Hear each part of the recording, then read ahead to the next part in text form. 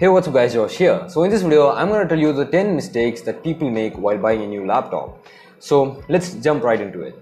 The first mistake that people do is buying the cheapest laptop available. I mean simply buying the cheapest one only to get it replaced in 2 or 3 years. The thing is that brands advertise two things either its specification or the pricing and when they are marketing a feature it costs money but when they are marketing the pricing, it is having some compromises on the features. So simply buying the cheapest laptop for 30,000 rupees or 25,000 rupees when you are about to join your engineering college or arts college for your programming things, then it's simply the worst decision to make because buying such a laptop would only make you replace it in a year or two because those laptops cannot smoothly handle many programming applications and it will simply lead you to regret for not putting some extra money. But that doesn't mean that these cheap laptops cannot do their purpose purpose but the thing is that these 30,000 to you know 25,000 rupees laptops can smoothly handle excel sheets and not intense programming or editing applications the second mistake that people do is overlooking specifications. For example, people see that in spec sheet that the laptop has backlit keyboard. It's cool, right? It has backlit keyboard, but the thing is that it has a lot of varieties. Backlit keyboard, there's full RGB backlit keyboard which has individual uh, control over the RGB LED beneath it and there is single color keyboards which in most cases is white. People see that it has a 15.6 inch screen real estate but they don't care if it's IPS LCD or TFT or OLED display. So the thing is that when you're looking at the spec sheet you should dive deep into it. You should look at every specification. You should do your research properly when you're buying the laptop. When it comes to looking for the GPU, you should also take note of its power rating. For example, you can compare a 3060 GPU and a 3070 GPU and right off the bat you can, from the tagline, infer that the 3070 GPU will definitely perform better than the 3061. But the thing is that if that 3070 GPU features a low power rating, then that would be definitely superseded by a 3060 GPU with a much higher power rating, which will allow it for better frequency and eventually eventually a high performance. The third mistake that people make while buying a laptop is overpaying. See, the bottom line when it comes to buying a laptop is your requirements. What you need the laptop for. What are your requirements? You are gonna uh, run Adobe Premiere Pro on it. You're gonna run the specific game application. You're gonna do your favorite coding work in your favorite application. And that all sums to your requirements. There are a lot of marketing gimmicks that will brainwash you into buying the better and the better laptop. The thing is that you don't have to buy the better laptop at all times. Buying the better and the better laptop isn't an effective decision if you're never gonna uh, tap that extra performance that you paid for. If you're not gonna utilize the extra features, the extra ports, the extra storage and the extra RAM, you paid for, then it's definitely a waste of money and you can save that money for an external display or a mechanical keyboard to be attached with your laptop.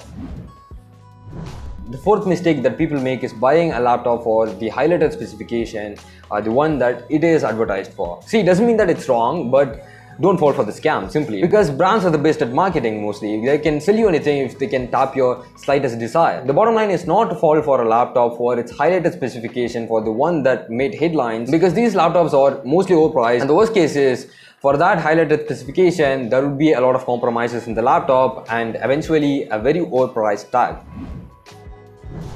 Trust me, if you're a photographer or a videographer or someone who's into this artistic journey, then it's definitely gonna affect your experience. And from my experience, you can clearly notice the difference between a very accurate monitor and a non-accurate monitor. For example, if you're editing a picture in a laptop that has a bad color accuracy like 60% sRGB or something and you're transferring that image to a laptop or a monitor with 100% sRGB, then you can notice a blatant difference in the colors and it will be a slipper shot to see how bad grade monitors affect your art.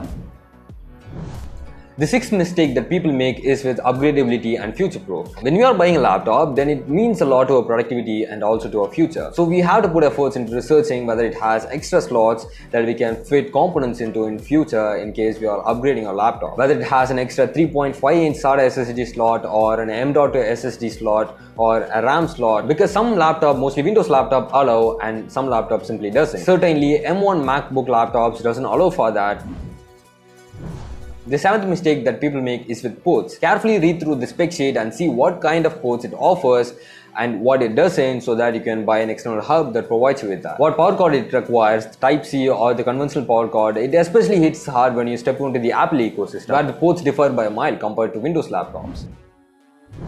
Eighth one is compromises. There is compromise in every spec sheet. If you're gonna go for a power packed laptop, then you're gonna compromise some battery life for it. Or much battery life for. When you're going for a powerhouse, not only does it traits of battery life, but also portability. If you're going for high refresh rate, high resolution screens, you'll also have to trade off some battery life and uh, when it comes to gaming laptops, if you're going for a 90 watt hour battery life, then it means that in most cases, you are compromising that 3.5 inch SATA SSD slot. So you'll have to only rely on the M.2 NVMe SSD slot that's either provided or not. But in my opinion, it's fair to lose that 3.5 inch SSD slot for a 90 watt hour battery, but it's a personal choice.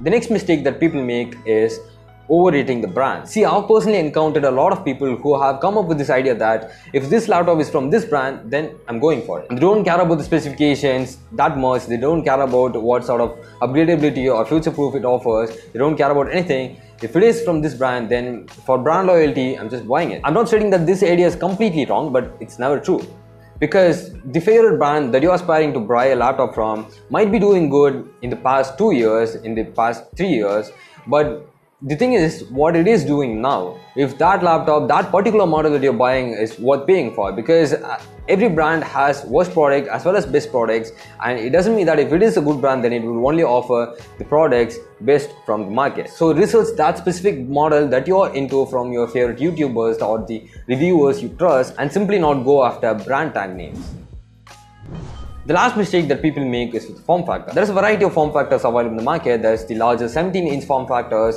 a lot of it 17 inch screens, and there's the smaller ones with uh, the, the two in one features you know the foldable ones 360 degree foldable ones with touch screens. The thing is that with one the 17 inch real estate laptops it simply ruins the purpose of being a laptop but not, not being portable at all for most people that I've encountered. But if you definitely want that 17 inch form factor then you should go for it.